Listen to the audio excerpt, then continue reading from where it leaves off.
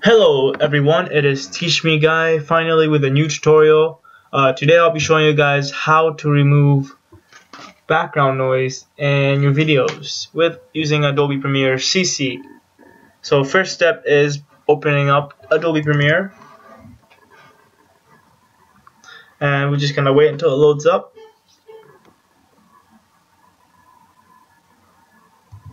Alright, so let's begin by opening up a new project. Uh, name it background noise removal.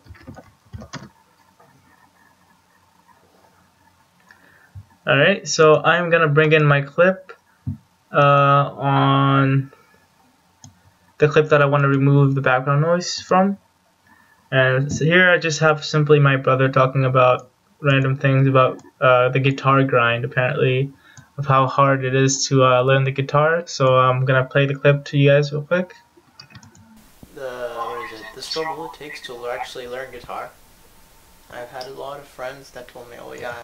Alright so you guys can hear that little buzzing sound in the background that uh, it gets pretty annoying. So let's go ahead and remove it. So we begin by dragging the clip to the timeline and what we're going to do is go on to effects audio effects.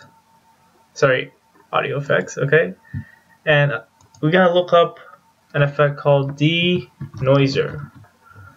We're gonna drag it to our clip. And go on to the effect control. And here on the audio effects we click on edit on the custom setup and we want to change this number to negative 17 and this one to 10 alright so we're done close that and let's play the clip now huh? hold on and uh, but I'm not talking to those people. Maybe I am. If you are, if you don't want to be that person, but as you can see, it it almost removed all the uh, background noise. It's so much better than before. Let's go ahead and compare uh, what it was before to now. You're afraid that you are?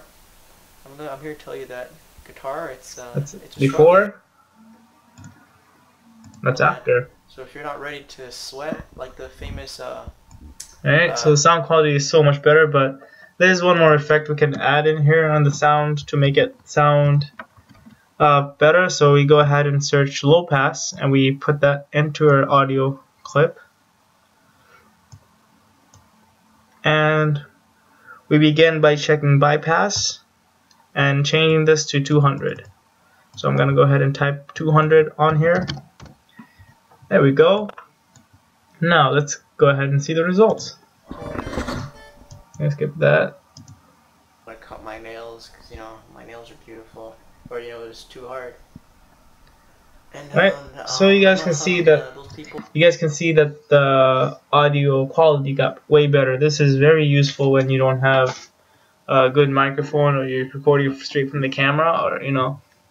Yeah. So if you find this video helpful, give it a thumbs up and comments if you have any question and otherwise subscribe to my channel thank you very much and have a good one